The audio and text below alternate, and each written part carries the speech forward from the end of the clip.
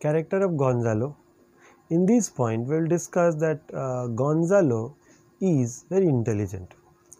Antonio and Sebastian, they have been continuously criticizing him, making him stop in his own speech.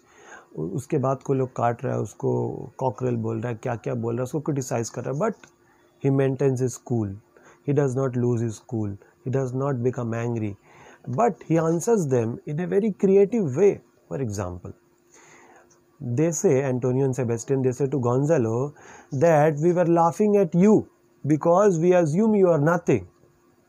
वो लोग बोल रहे हैं कि हम लोग गोंजालो तुम पे हंस रहे हैं क्योंकि तुम नथिंग के बराबर है तो लोग बोल रहे सर आप हम तो नथिंग है तो आप लोग हँसते रहिए मुझ पर Now, this apparently means very simple sentence, but it also means कि गोंजलो उन लोग को बोल रहा है कि अगर हम नथिंग हैं और आप नथिंग पे हंस रहे हैं मतलब तो बेवकूफ़ आप लोग हुए कि हम अगर कुछ नहीं और जो कुछ नहीं पे हंसे वो कितना बड़ा बेवकूफ़। But he is not directly saying it that is what is intelligence is because they are king's man and he is not suppose to go against king's man but at the same time you can not take back those insult so calmly So he has to answer it. So very subtly he answers them. He even says that, sir, you are a great man that you can lift the moon in the sphere.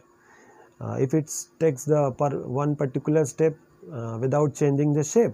So he is very very intelligent. For example, he is saying to Antonio and Sebastian, I quote the line, you would lift the moon out of a sphere if she would continue in it five weeks without changing. So this is also his intelligence, the way he answers, his choice of words, the way he handles situations. So he is very intelligent and he is a king's counselor.